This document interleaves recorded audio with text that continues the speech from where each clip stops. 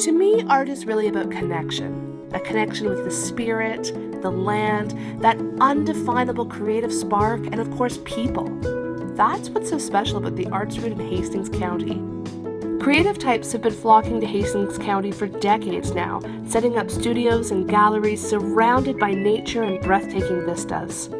When I take a day out of my busy life to check out the arts route, not only do I get to travel through one of the most beautiful counties in all of Canada, but I also get to connect with the artists that have been drawn here, right in their very own studios. I get to connect with them on a real level. We talk about technique, inspiration, passion. For a day, I get to enter the artist's world and revel in it. And any piece of art that I buy and bring home comes with a story and the knowledge that I was there. I was part of it.